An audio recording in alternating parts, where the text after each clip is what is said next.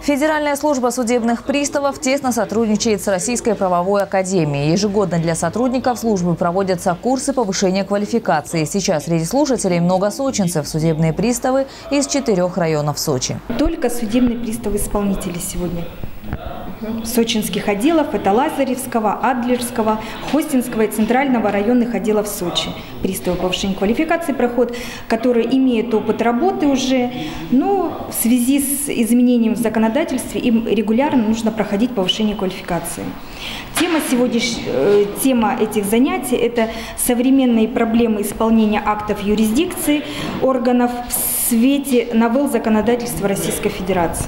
Кроме того, в Сочи судебные приставы и Минюст определят победителей конкурса научных работ, посвященных истории современной деятельности судебных исполнителей в России. Работу на конкурс предоставили студенты правовых вузов. Награждение победителей также пройдет в Сочи.